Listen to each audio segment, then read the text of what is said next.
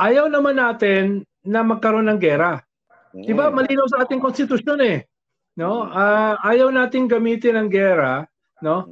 As a, as a policy, no? Kahit nilulusob na tayo. Pero at a certain point, we have to defend ourselves, no? And our people. Yung harassment sa mga mangingisda, lumalabas lang sa balita yung harassment pag may lumulubog na barko mm, yan, o pag may ginawater cannon na mga mangingisda.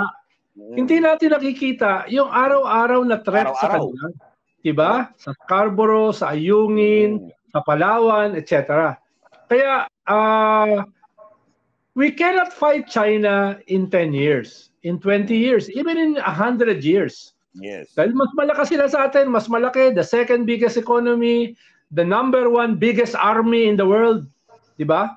Kahit tayo ay nilulusob, hirap tayo na depensahan. Pero at the very least, no, ipakita natin na poprotektahan natin yung ating mga mamamayan, lalo na yung mangingisda.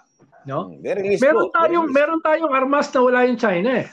Hmm. Ang mga Pilipino, magagaling tayong mga kwan eh, entertainers, actors, no? Hmm, uh, yeah. We can make the Chinese look bad.